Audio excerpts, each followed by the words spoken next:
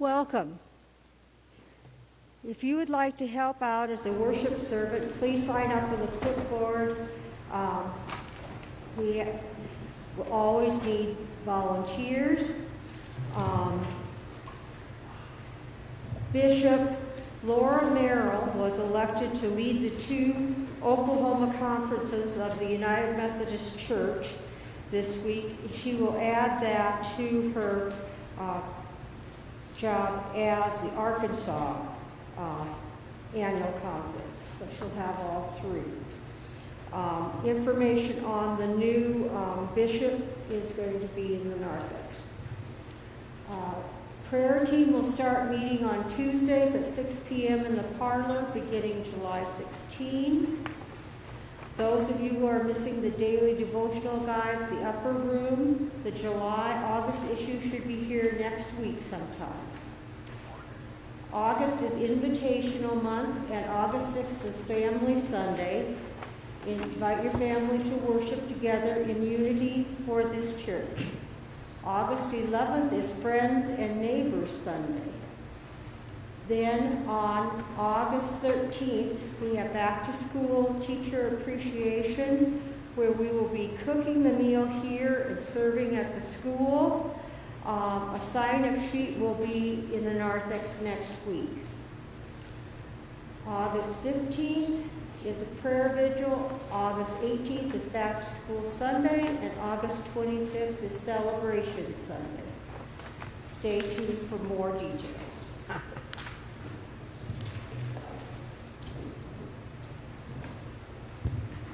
Did you talk about next Wednesday? No, okay.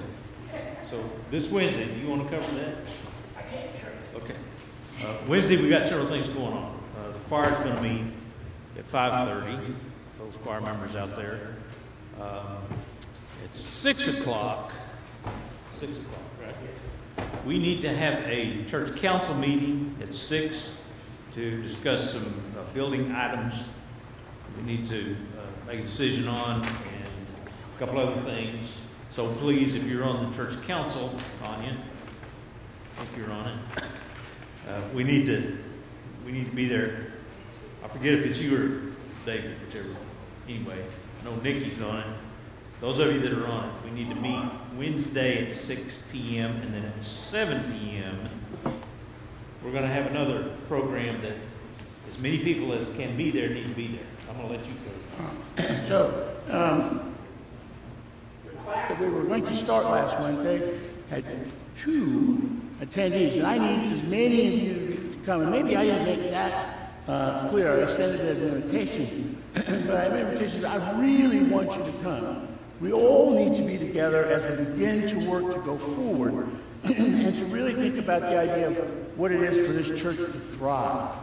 And we're going to talk about it. We're going to look at some scriptures and talk about what God's asking us to do, as He's telling us to do, um, and we're going to have some wonderful discussions. In addition, we're going to have some flat food. Now, what that means from an old tech guy uh, that worked for me is that means it's pizza. There's going to be some pizza there. Come grab a slice or two and be part of our conversation. And that includes those who come for the meeting. We'll be there for the admin. We'll have the flat food pizza for the meeting. So because it just it'll be casual, but I think you'll find it to be very important as we as we truly regenerate, regenerate renew the roots of this church and begin to grow anew. So I will see. I want to see all of you at seven on Wednesday. Okay, and so let's go ahead. We have a opening video.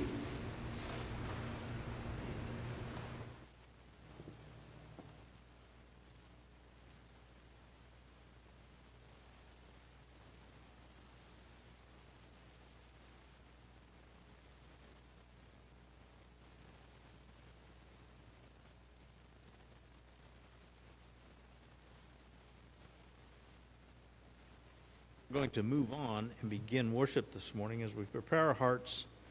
Let us stand together and we are going to sing this first song, this opening hymn. Very short. We're going to sing it a cappella. So if you would stand and join with me. Come now is the time to worship. It's in the It's in the worship and song book.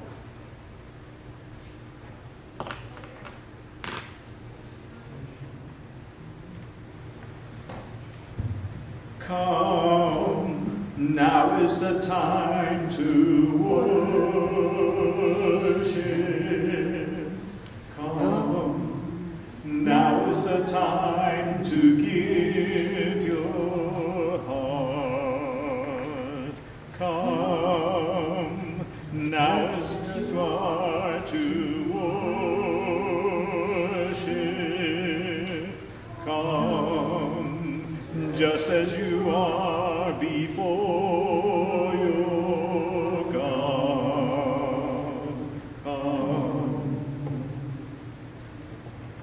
Now we're going to sing El Shaddai,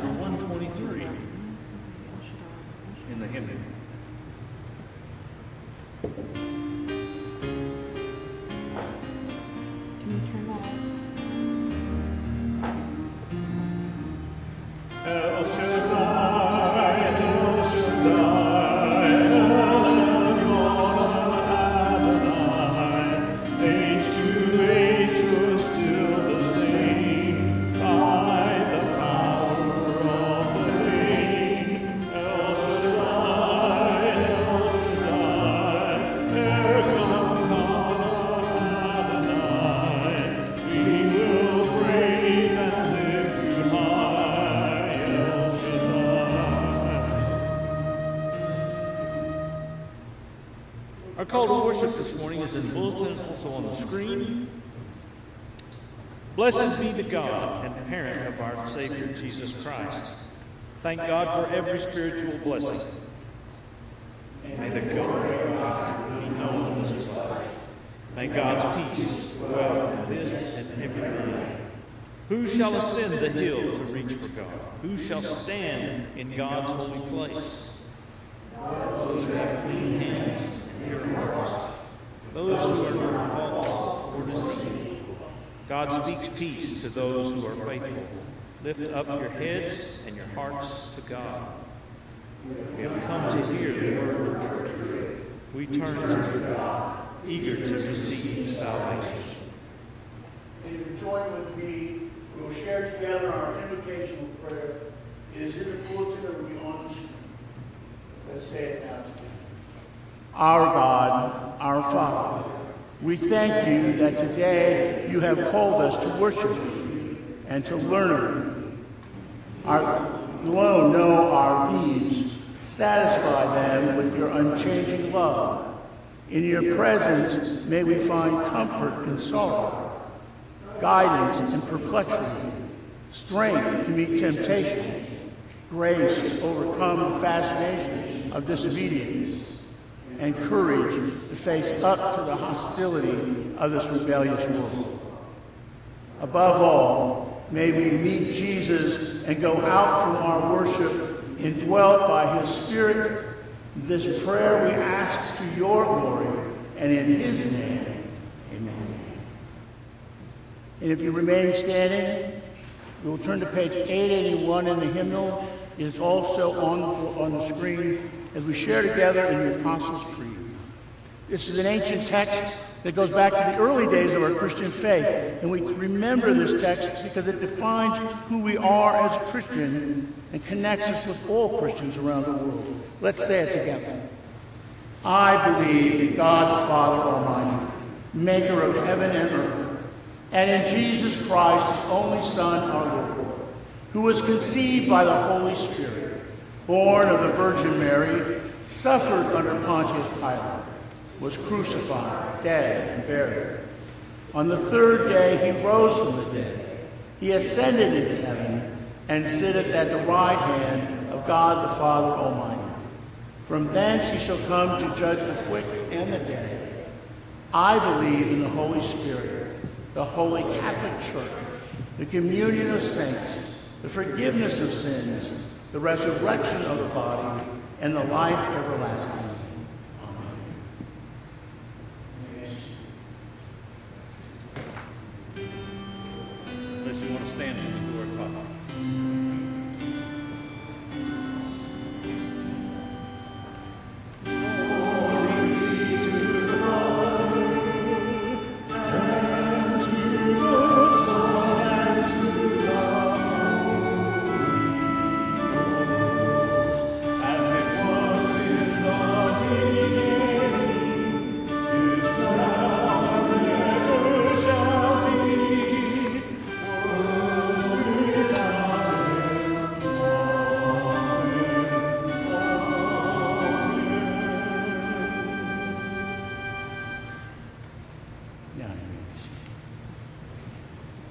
Turn now to a time of prayer. We begin with our hymn of prayer, More Love to Thee. We sing the first verse, and then as the music continues, I invite you to silent prayer and meditation.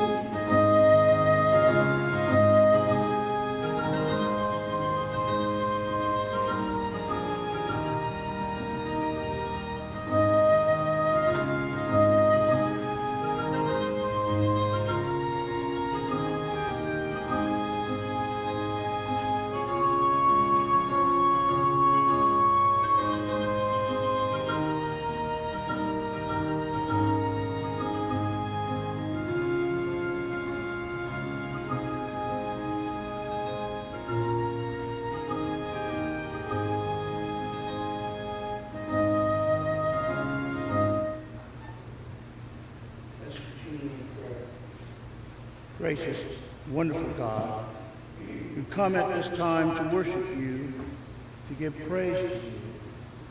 We also come with our hearts that are containing things upon which we worry, stress, are challenged.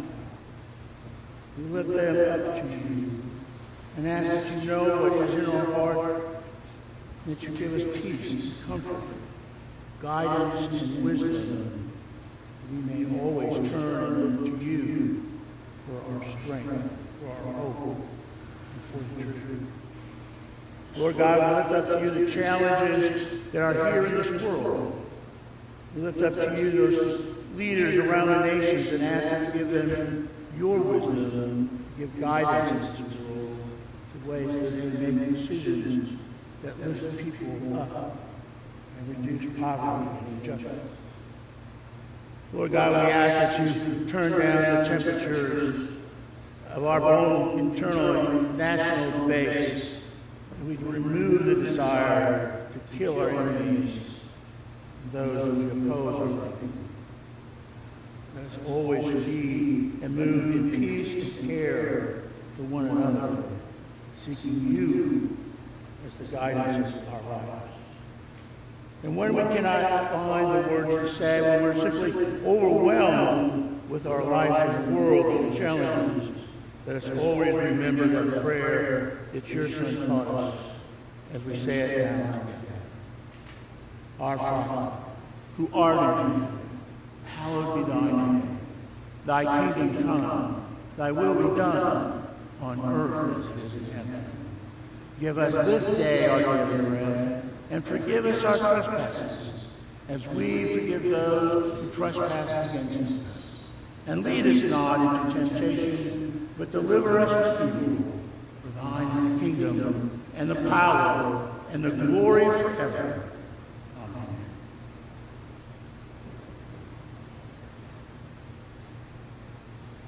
The ushers, please come forward to gather our tithes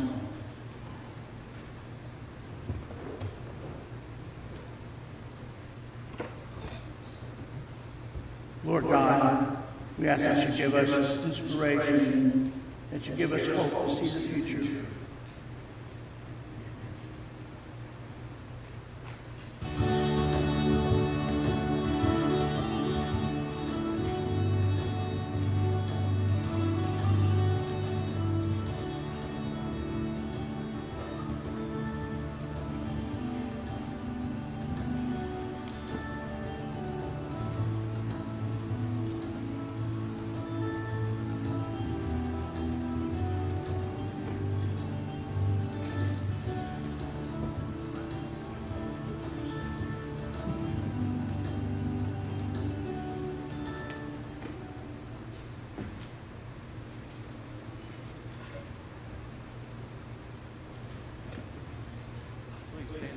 Doxology. Oh,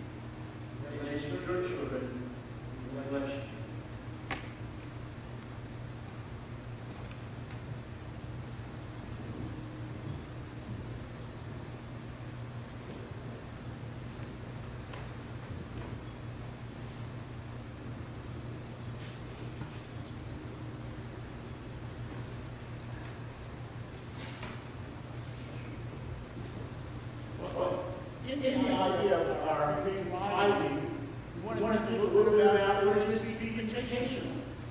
And we're going to talk what we're talking about on Wednesday. And, uh, I want to give you a little think, a little thought, here with you, why it's so important for us to be invitation. I'm trying.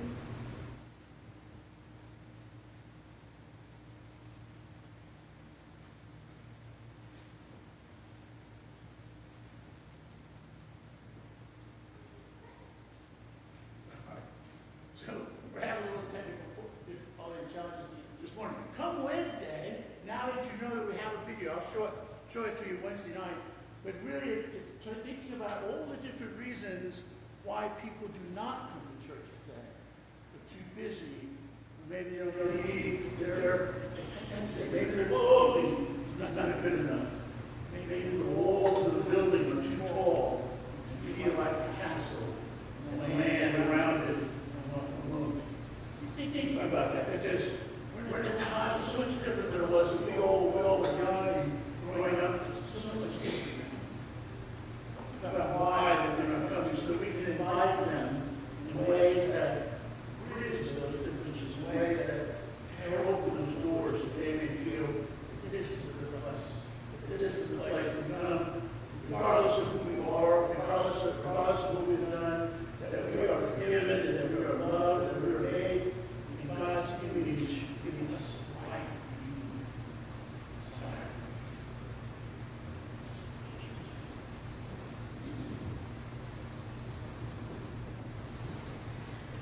The New Testament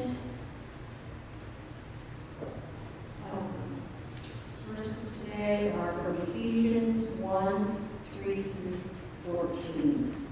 Blessed be the God and Father of our Lord Jesus Christ, who has blessed us in Christ with every spiritual blessing in the heavenly places, just as he chose us in Christ before the foundation of the world to be holy and blameless before him in love.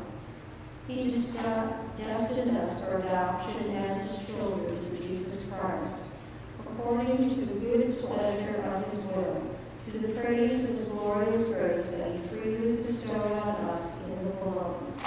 In him we have redemption through his blood, the forgiveness of our trespasses, according to the riches of his grace, that he lavished on us. With all wisdom and insight, he has made known to us the mystery of his will, according to his good pleasure that he set forth in Christ, as he planned for the fullness of time to gather up all things in him, things in heaven and things on earth. In Christ we have also obtained an inheritance, having been destined according to the purpose of him who accomplishes all things, according to his counsel and will so that we who were the first set our hope on Christ I live for the praise of his glory. In him you also, when you have heard the word of truth, the gospel of your salvation, and have believed in him, who marked with the seal of the promised Holy Spirit. This is the pledge of our inheritance towards redemption as God's own people, to the praise of his glory. Do you have the flash drive?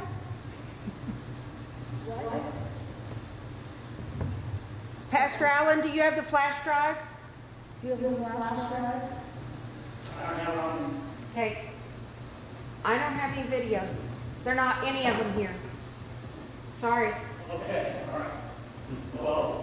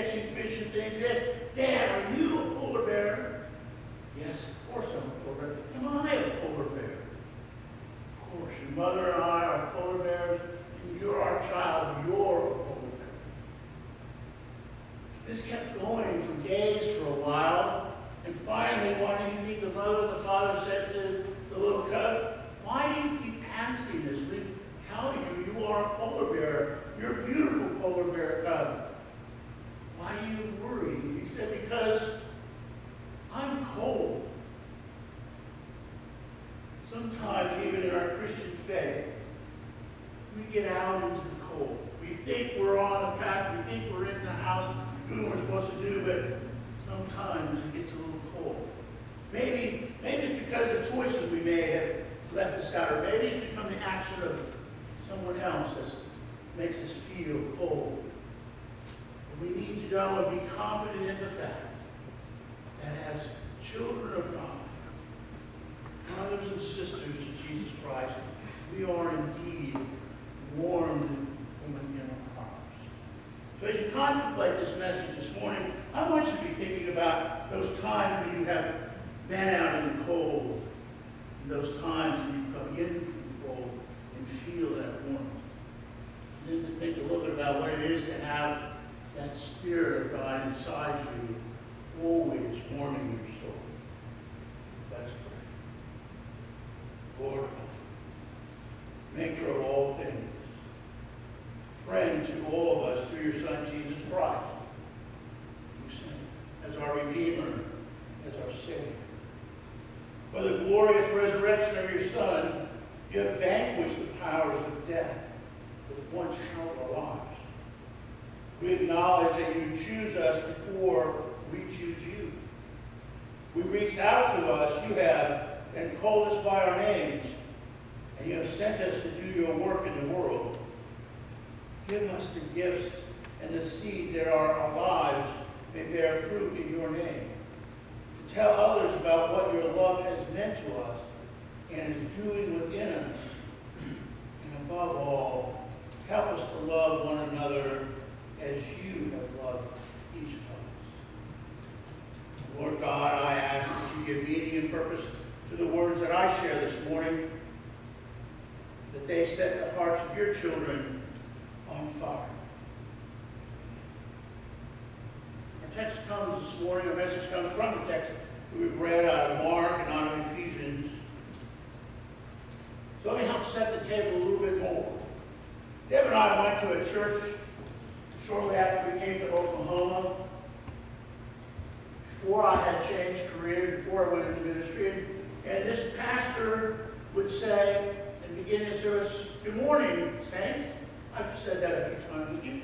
Good morning, saints. And then we would respond, Good morning, saints. And then he would say, Good morning, sinners. The congregation that was there before we came were comfortable in saying good morning, sinners, but I did not find that comforting. I did not like to say good morning, sinners. I'm a sinner. And I observed over the next few years as others came in and visited there was a struggle, a conflict about what it was to proclaim myself as a sinner. You know, most of us try very hard to live life without committing sin. There's a theologian named Brown that, that said very clearly, we all try hard. We can't avoid sin. We can avoid it most of the time. Most of us do. But we can't avoid it all of the time. We can't avoid all of the sins. That puts us in this quandary of having to acknowledge and admit that we are indeed a sinner, that we have indeed failed and gotten things wrong. Now, let's think about this a bit. Sometimes this gets a little confusing about what sinning is, and I, want to try and simplify it. And I will come to the Ten Commandments. The first four are very clear. Loving God with all that we have, our heart, mind, and soul. That sounds easy to say, I love God until you get somewhere in the middle of a problem or a challenge and you begin to think about what your needs and purposes are without thinking about what it is to, to praise God and love God with all that we have. If God's the priority, have we really thought through that decision? So simplistically, it says anything, sin can be anything that gets in between you and God, that separates you from God. Think about that for a minute. What does separate us from God? Well, sometimes the things we do to others separates us from God. Sometimes the challenges that we face, that we struggle with, it separates from God. We begin to wonder, why did God do this? Why did God spin the wheel? I remember being in a youth and sitting in a conversation, and the discussion was, was do you think life is like a big, big roulette wheel, and you spin it, and wherever the ball lands, wherever the dart hits, that's going to be your reality. That's your fate.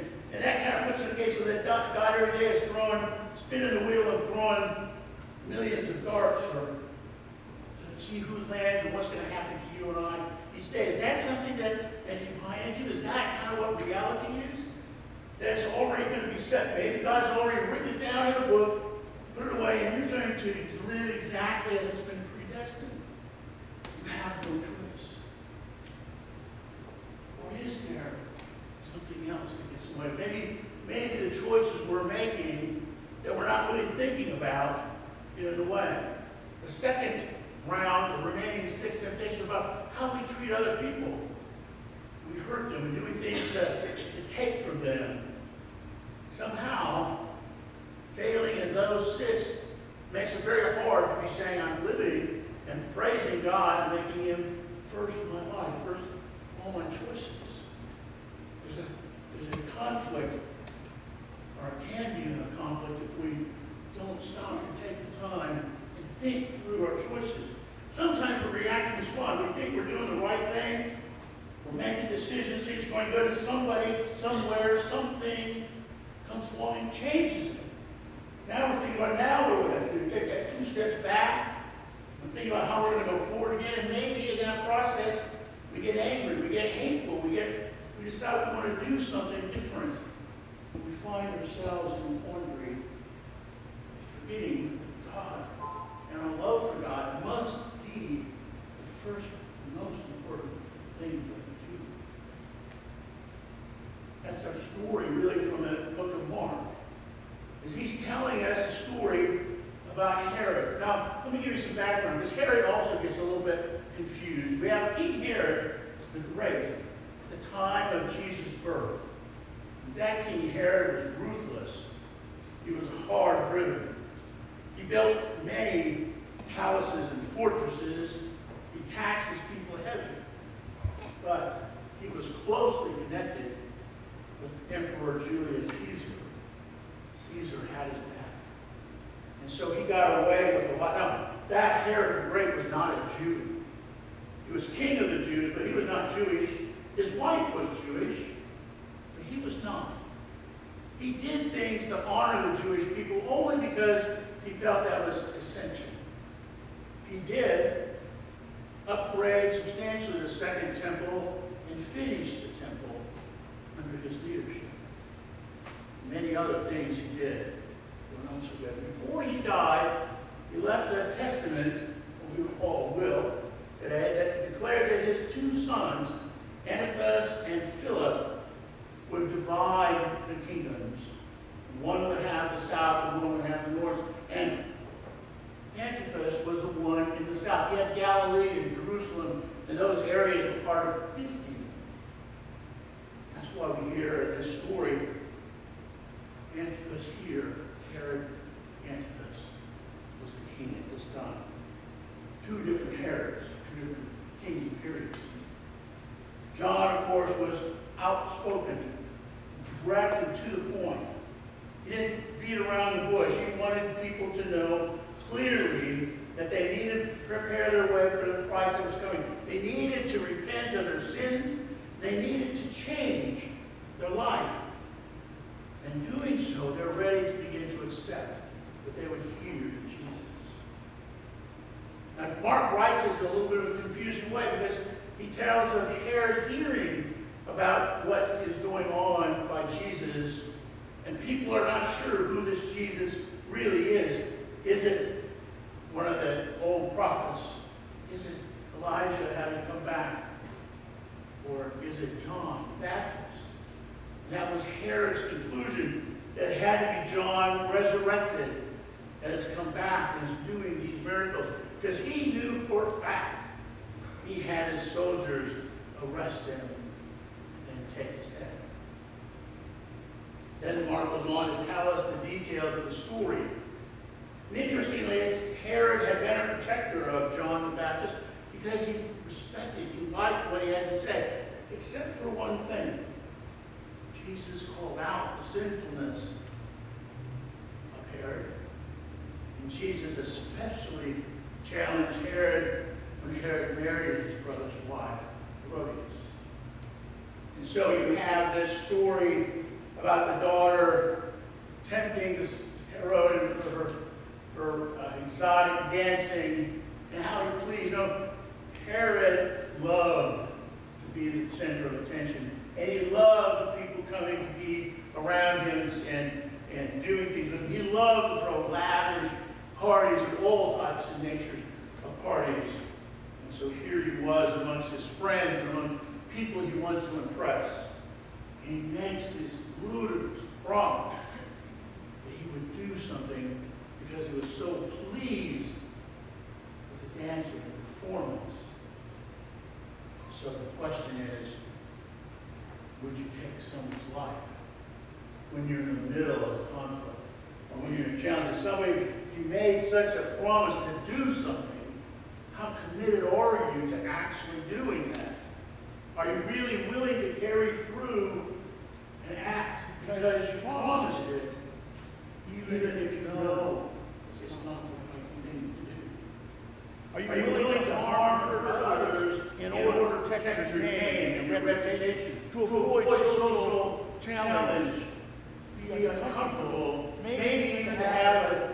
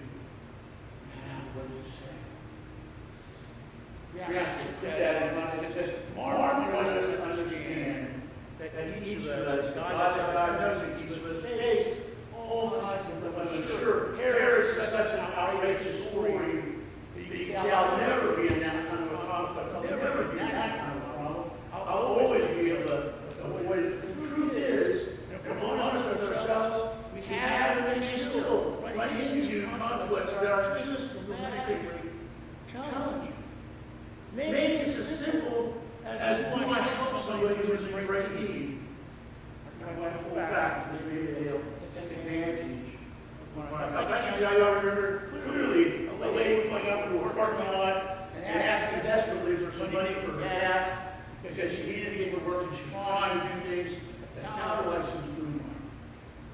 And so I handed her the gas station right across the street. I just handed her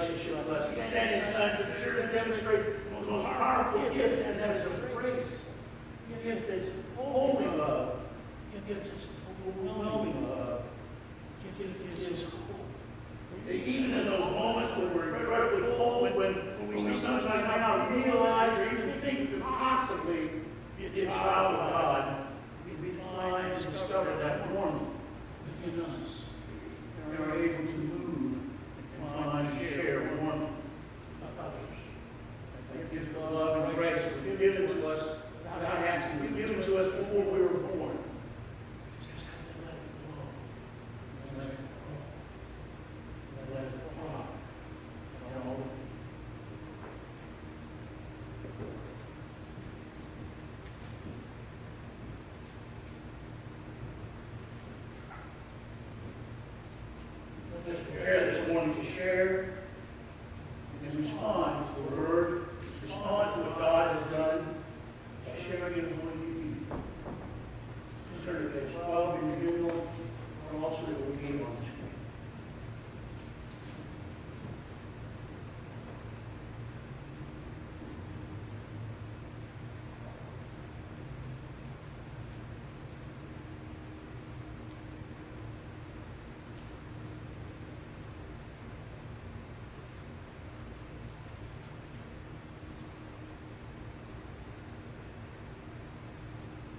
Christ the Lord and life we give all who love him, who earnestly repent of sins and seek to live in peace with one another.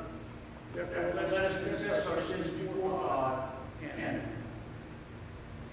Merciful, we confess that we have not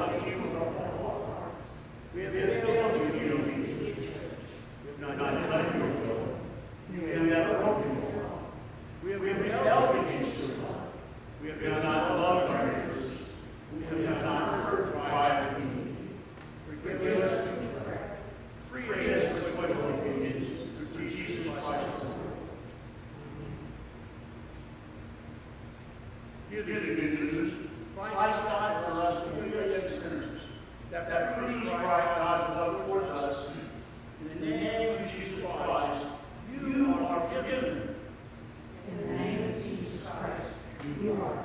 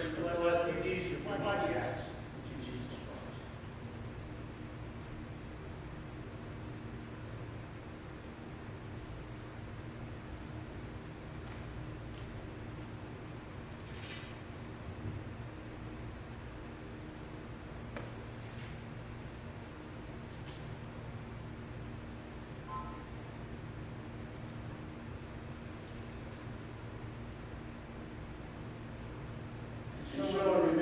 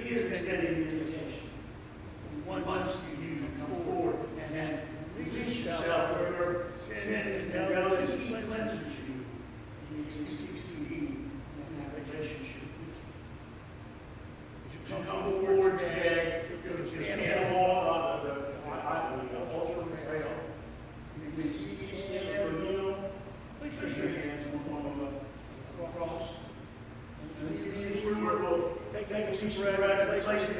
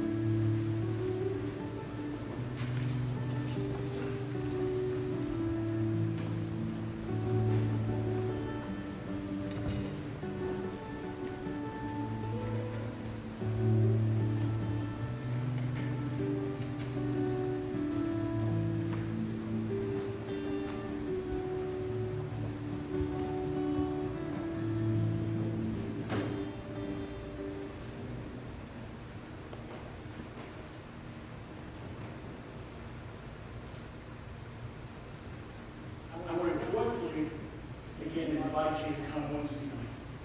We find it to be meaningful and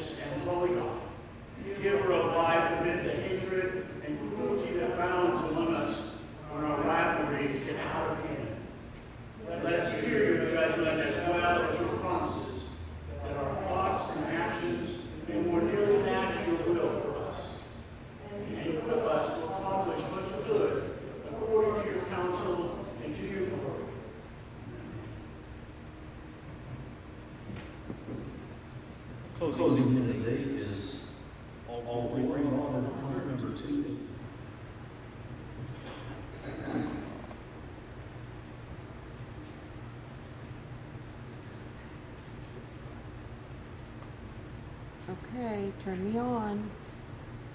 Need I? I need videos.